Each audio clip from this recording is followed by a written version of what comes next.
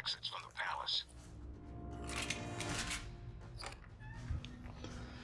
Obsidian ima vrlo zanimljivu povijest kao developer. Od vremena Kotora 2 pa do danas su nam pokazali kako briljirati u pisanju scenarija, smišljanjem novih mehanika igre i usavršavanjem postojećih. Ali nažalost i upropaštavanjem tog savršenog recepta sa izbacivanjem poluzavršene igre na tržište i požurivanjem porta na PC. Upravo tu leži razlog neuspjeha Alpha protokola. Jer ono što su učinili Kotoru dvojici i Fallout New Vegasu, ponovili su i ovdje. Šteta, jer je Alpha Protocol bio prvi originalni IP. Mada su se i dalje držali BioWareovog recepta igre, točnije Mass Effecta jedinice. Kampanja igre je orijentirana na priču i radnju i to se vidi na kopiranje loših mehanika borbe, uzetih od Mass Effecta jedinice. Dok dijalozi i posljedice donešenih odluka su minimalno tri stepenice iznad bilo kojeg BioWareovog RPG-a ili nekog drugog bratskog. Obsidian se uvijek vodio velikim idejama i ciljevima, koji su izgledali odlično na papiru, ali nedostatkom sredstava, novaca i stručne ekipe, nikako nisu uspjeli to prezentirati onako kako su zamislili. Igre su im, kao i ova, savršeno zamišljene, ali ih ubijaju bagovi, totalni nedostatak ispoliranosti i jednostavno sveopća nezavršenost igre. Ali bi još sve to kako tako prošlo, uzmimo za primjer Stalker Shadow of Chernobyl, da su se držali nečeg svog, kao Stalker, pa razvili nekakav fanbase koji bi modovima popravio igru.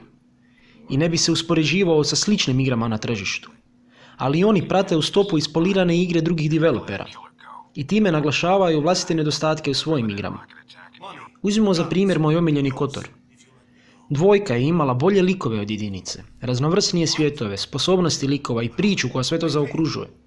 Ali jednostavno je sve palo u vodu radi požurivanja igre na police, što je rezultiralo sa izbacivanjem 30% sadržaja van igre. Ali zahvaljujući grupi modera, sada se The Sith Lost Restored Content mod nalazi na Steamu kao službeni patch, kojim su riješeni bagovi i gličevi, vraćen izgubljeni sadržaj, skoro cijeli planet, likovi, oprema i slično. Alpha protokol je uzeo Mass Effect kao predložak.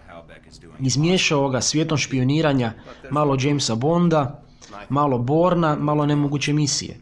I za čudo sve to je čak dobro ispalo i rezultiralo skoro pa odličnom radnjom.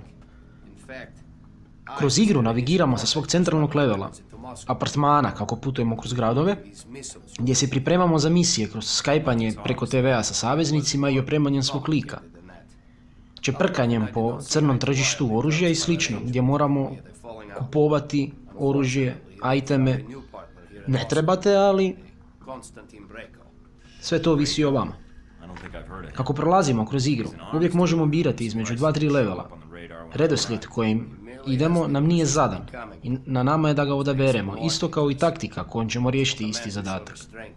I treba uzeti u obzir da pristup misiji može biti full Rambo ili full stealth, te da to ima utjecaj na razvoj sljedeće misije. Naravno, sve to ide u prilog dugotrajnosti iskustva. Što više ruta za probati, to više nam se nudi novih prolazaka igre, što je uvijek dobra stvar. Naravno, ako možete preći preko nedostataka, a nedostatak ekspoliranosti se vidi najviše u dijelovima s borbom. Kontrole su loše, neprijateljska inteligencija je iznimno loša i samo nepocavanje je grozno. Previše smrdi na Mass Effect, ali jedinicu. Animacije likova su loše, ali zabavno loše. Ako uzmemo još u obzir da je Mass Effect Andromeda nedavno izašla, izgleda jednako loše kao ova igra, možemo to Alpha protokolu i oprostiti. I nakon svih nabrojenih nedostataka i dalje držim da igri treba dati drugu šansu. Jer važne stvari su odlične, naravno, minus borba. Bez imalo sumnje, naći adut igre i interakcije igrača sa svijetom i ishod donešenih odluka. Način na koji su to odradili rijetko gdje možemo u igrama vidjeti. Dijalozi u igri su kao i u Mass Effectu sa kružnim izbornikom odgovora, ali ovdje su sve to začinili sa dodatkom tajmera koji pridodaje osjećaju žurnosti i stvara napetost. I iskreno nemate baš puno vremena za donijeti odluku, a odluke su sve sive. Svijet nije crni i bijel, nije dobar i zao.